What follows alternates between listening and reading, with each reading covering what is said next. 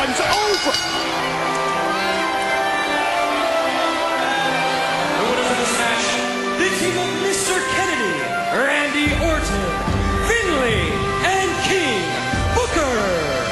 Quite frankly, Edge walking out on his tag team partners created the distraction that his opponents needed to win the match and damn near take the head off of CM Punk.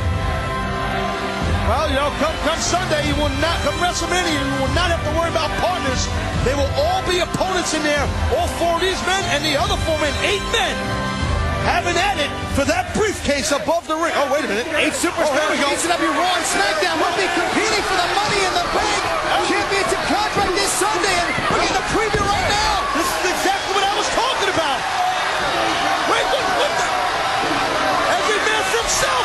Oh! And who better than the Hardys know how to use a ladder as a weapon? Yeah, well, look, the Hardy, Hardy brothers, they'll be going at it with each other, too. Oh! Yeah, but right now they're wearing out their opponents with that ladder. You're not kidding? Oh, God, right in the corner on Kennedy. This is like a preview of WrestleMania the Money in the Bank match right here. Uh-oh. Oh! These superstars better hope that none of them gets injured before this Sunday at WrestleMania with all that's on the line. How about Edge? Edge has the best seat in the house just watching from the ramp and they're taking a walk. Yeah, well, he's smart. You can't, I mean, oh, oh, oh. Shot from Finlay right in the ribs. Whenever you steel ladders, bodies and bones get busted. Oh, man, look at that.